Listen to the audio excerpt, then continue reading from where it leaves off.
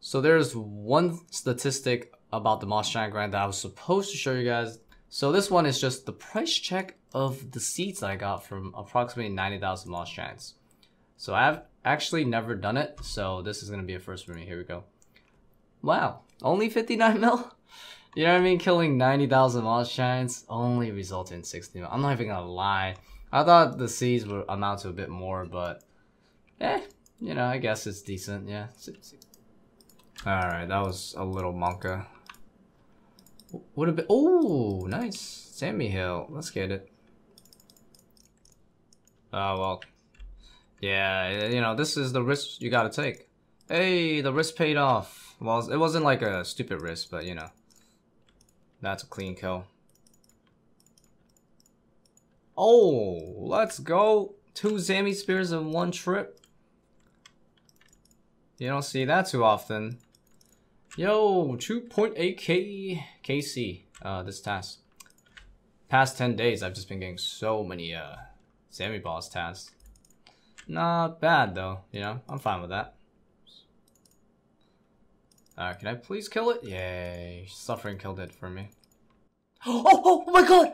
What the fuck? What? This is fucking crazy! Holy shit! What? Oh my god. Okay. What? And an Elite Clue Scroll too. What the Okay, bro. I see it. That's crazy, bro. Two pets in two days. Seriously, this is such a rare pet. One in 5,000. The day before, one in 3,000. Not even going to mention the tool seed a whole lot, but in terms of just pet RNG alone, I've never seen anything like this. Actually, I've never seen anything quite like this. I usually don't see this person too often, you know, but yeah. Can you believe it? Pet number 20 on such a such a sick pet too, man. I wish I could bring two different pets out at once, man, honestly. But yeah, this is number 20, dude. 20. Can you believe that? Wow. Alright, I've never talked to this guy before. I've never had this pet before, so yeah. How's life in the lights? Burns slightly. Uh, he, he's uh, tan sensitive, I guess. You seem much nicer than your father, he's mean. If you were stuck in a very dark cave for centuries, you'd be pretty annoyed too. Oh, okay, okay. Okay, turned out, you know, he's actually quite, quite chill, I guess. He's actually quite mellow, really. Oh, yeah. Huh. Interesting. I mean, all those all those yards, you know, says otherwise, but... So I just got an elf task while I was pet hunting, and I realized that now that I pretty much finished all the Elf City major goals, I should go ahead and get the Eternal Teleport Crystal. They drop from the guards in Elf City. So yeah, man, let's go and get it. Shouldn't take too long.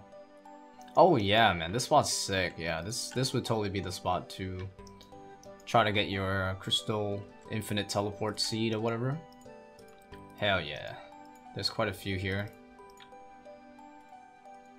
Oh, what the fuck? No, I'm just kidding. That's not it. This isn't it, right? uh, for a second, I thought that was the, the right one. Haha. oh! Yo! Yes! Let's get it. Enhanced Crystal Teleport Seed. Alright, so I thought, you know what? I might as well just get this last drop because it actually is very useful. And uh, it didn't seem, from what I've been told, to be too rare. Yeah, enhanced crystal helper seed. Awesome, awesome. Let me charge this up so I can, uh, you know, talk more about this a, a little bit. So between yesterday and today, I killed 700 Elf City guards. And I did like another 200 on the previous Slayer task. So yeah, I ended up killing about 900 for it. But yeah, it wasn't too bad, you know? It was definitely the shortest grind of all time in Elf City, so. So it's time to charge this seed, so you can't use it until you charge it, so. And yeah, it costs 100 shards. That's actually quite a lot. But yeah, this is pretty much the uh, Elf Teleport Crystal, except it is the unlimited version. So I never, ever have to recharge this bad boy. Yeah, that's really nice. And uh, also, I'm to save myself some bank space because, yeah, I got a bunch of these, you know, and I don't need these anymore. So, I'm gonna save myself two bank Spaces, hell yeah. Throughout all of my Zalcano grinding and Corrupt Gauntlet grinding, I have accumulated over 6,000 Crystal Shards. I'm pretty sure I won't be able to use them all if I were to use it, you know, for normal situations like Divine Potion making and like charging Crystal uh, Weaponry and armor and stuff like that. So I have so much. What can I do with it for fun, you know? And there's one thing, and that is to open the Elven Crystal Chest. So I can use the Crystal Shards, 10 of them, and combine it with a Crystal Key, the one that you open in Taverley, to make the Elven Crystal Key. So I can use that to open the Elven Crystal Chest, which gives better rewards and also a chance to get the uh, Rune Dragonstone Trim Armor. So I'm pretty curious. I want to try and open up some of these Elven chests and see what I can get. So I'm going to do 100 for now because that's about a thousand shards used. Okay, we found the chest. It's in the center of the town, second floor. Okay, let's uh, see. If you check it, it tells you... Oh, okay. I think that's the KC tracker. First one. Oh, yay. Runelite actually tracks it, so that's cool. Okay, let's keep opening it. I'll be back if we get anything cool or... Oh, what the I actually... What? Come on, man. A shield left half, bro? That must be rare as hell, dude. What the hell? Whoa, crystal acorn. Alright, cool. I was planning on getting some of these anyways. From my leftover uh, crystal seeds, weapon seeds or whatever, so... That's my first one of these. They'll be useful for some farm runs. Just for the crazy XP and stuff and free shards. Wow, 500 gold ore. What the nunny? Oh my god, why? Do you keep get why do you keep getting these shield left halves, bro? Stop. So I just opened 108 Elven Crystal chests, and uh, I'm pretty addicted, so I'm gonna do another 100. But here's the loot so far from 108. So the biggest value is definitely from the rune ores. Um, you get you get a decent amount of alchables, and of course the dragon stones are worth a decent amount. Uh, yeah. Anyways, we made about six mil. All right, guys. This is actually insane, dude. My crystal shards depleted so much. One inventory. Oh, dude, that is so much shards down the drain. God damn, 270 shards. Bye bye, just like that. But you know what? I'm addicted, so it's okay. We're gonna stop here. 5,000 shards to last me a long time. And of course, just complete junk. Alright, time for the final loots from 200 plus crystal chest. So here it is. Alright, so as the price goes, it just basically went up another uh, 6 mil. So yeah, it seems pretty pretty uh, consistent. You make like 6 mil per 100 keys if you don't get the uh, unique item, so. But I did get a quarter, about a quarter of my crystal shards back, which is pretty good. So you get about 25% back, approximately. I think this is a good sample size from what I can gather. But yeah, man, interesting though. I think I got trolled quite hard though by the by the dragon stuff, though, unfortunately. No Dragonstone Rune Armor piece. So is the Elven chest worth opening? For most players, I would probably say no. Just because you can make more money off the shards if you just make divine pots. However, if you cannot make divine pots, then the next best thing to do is open up the crystal chest. You get about 6 mil per 1000 crystal shards. On an Iron account, I would say it's overall not worth it because you're better off using those shards, recharging your uh, crystal weapons, tools, and you know making divine pots. Whoa, rune pouch value? Oh, what? When did they do this? How much is that? 1.5 mil? Whoa, they just they just said, fuck it. You guys can just buy a rune pouch now for 1.5 mil. Alright, well, I'll try to buy it though. It won't let me probably. As an Iron Man, this item's not available. Okay. Eh, false alarm. Oh my god, yes, dude. Holy shit, so worth it, man. So worth it. I actually got the Armadyl task. Oh man, I was really hoping I could test this out one more time, you know, with the T-bow only method or I guess generally speaking the no chin method. Because honestly, even the Armadyl crossbow has a lot of potential too. Surprise! What? Oh my god, what a troll. I was like, what just happened?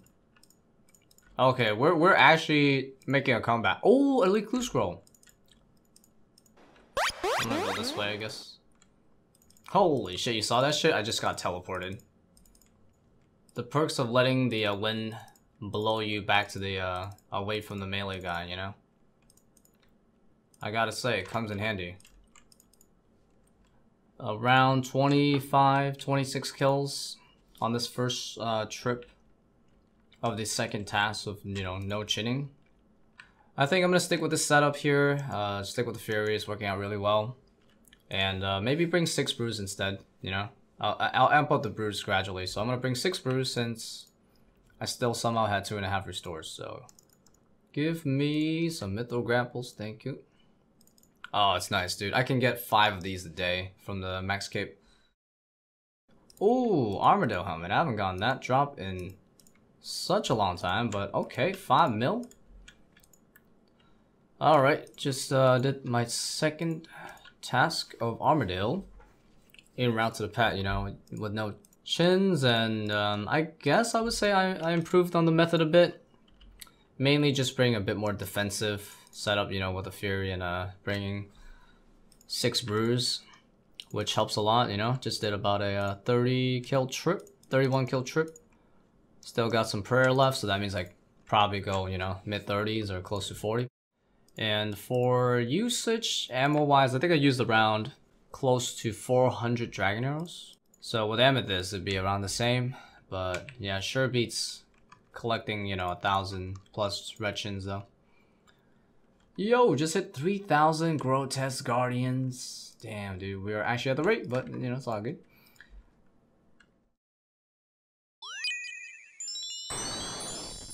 Oh, that's sick, dude. When I'm frozen, I can still pick up the orbs. Easy game. That's actually sick. I didn't even... 3,000 kills later, and I, I realized that I can still pick up the orbs.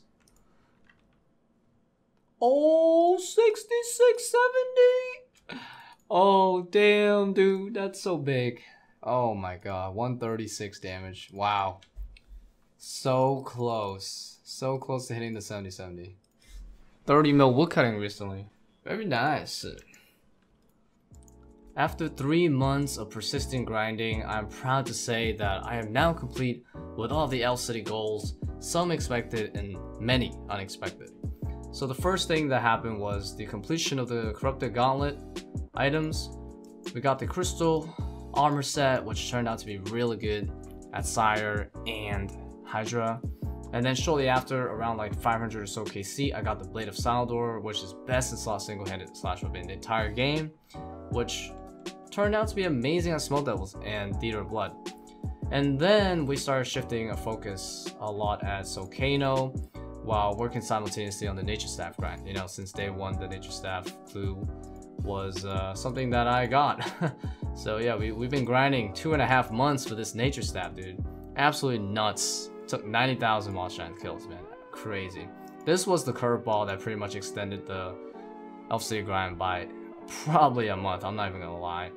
And then in routes, I completed the Zalcano goal, which was to get a Crystal Tool Seed so I can make the best skilling tools in the entire game. So I tested out the Crystal Pickaxe and the Crystal Axe. And let me tell you, the XP difference between Crystal and Dragon is actually insane. It's so good, like several thousand. At Redwoods, for example, it's over 10,000 XP difference absolutely nuts. And uh, also, uh, while we were grinding the Zalcano, I ended up getting myself an Elven Signet, which is actually complementary to the Crystal Tools, as it saves charges while I caught an Impling on the way, so it was really, really cool. And uh, yeah, I ended up getting the uh, Eternal Teleport towards the end of this week. And some other unexpected things was the Basilisk Jaw update to make the Neitiznot faceguard. Came out of nowhere, but it's cool, you know, new in helmet, so that was really nice. Short and simple grind. And also, with every main grind that I do, I also work on some pet hunting on the side. And I'm proud to say that I ended up getting three pets on the way. So I ended up getting the Smolcano, you know, in route to the Crystal Tool Seed. And uh, shortly after that, I think 10 days after that, I got the Smoke Devil pet which we did earn, you know, went over uh, 5,000 KC for this thing, almost 2x try. And the day after, you're not gonna believe this, the Zammy pet, bro, this is actually the day after. Yeah, no fucking joke. A 1 in 3k pet, and then a 1 in 5,000 pet. I was like about 3,000 KC for this one. Wow. Actually nuts. So yeah, that brings us to a total of uh, 20 unique pets. I don't even have a chompy pet, so it can be an easy 21, but you know, I don't count that. Alright, let me see if this Ancestral Recolor passed or not. Okay, yeah, the is closed. Okay. Oh, Ancestral Robes Ornament Kit didn't pass. Damn, it almost passed. 1.1%.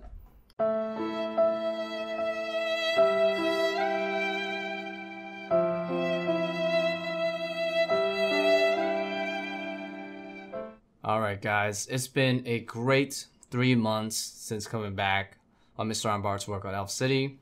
A lot of unexpected challenges, a lot of fun, and viewership on YouTube has never been better.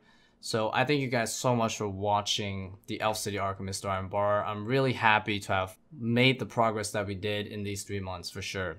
And yeah, a lot of you guys enjoyed it, so that's that's awesome. But anyways, as always, you know, all good things must come to an end for now. Mr. Ironbar will be going on break once again until the next big update that will come out eventually, you know, so we can work on some more progress, you know, some big progress. You might be wondering, so when will we be back? I can't guarantee you an exact date at the moment, but I will say 100% next year. So the Ancestral Recolor thing for Twisted League was going to be something I work on, but if they ever repoll it, and wherever it comes from, I'm definitely going to go back on Mr. Ironbar for that. But RuneFest has revealed some really cool information about next year. So there is going to be a new big boss next year, and it's called Ashihama. So it's going to be based in Morytania in the slip or sleep place that currently doesn't have a lot going on, but it's going to be a boss that's like Corp in terms of mechanics. And the name stands for pretty much the nightmare or something like that. So there's to be I guess, scary, nightmare, spooky theme type of boss. And unfortunately, they didn't tell us what the rewards are. They're actually to make the community help them figure out what the rewards are.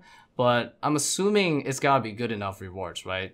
For something of corp level, there's got to be some best and slots in there. So whenever that gets announced and the day's reveal, I'm 100% going to be playing on Mr. Iron Bar once again for that. While Mr. Ironbar is on break, I will be working once again on the Solar Raid Specialist series featuring Huanmian Raid, and I hope to finish the series this time around. So YouTube is still going to be packing new videos every week, as always. So if you don't know about this series, I will post a playlist link at the end of this video, so that way you can uh, keep up to date and you know follow up on this series because I guarantee you don't want to miss it. It's a really exciting series and I hope as many of you guys can check it out if you haven't already. I promise you, you will like it. If you haven't already, definitely consider subscribing and ringing the bell so that way you don't miss any future videos from this series.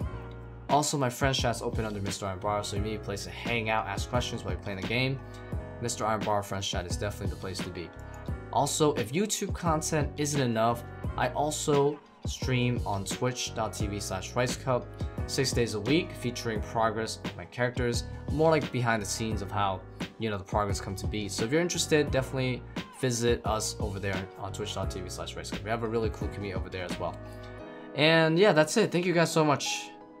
Take care as always. Bye bye.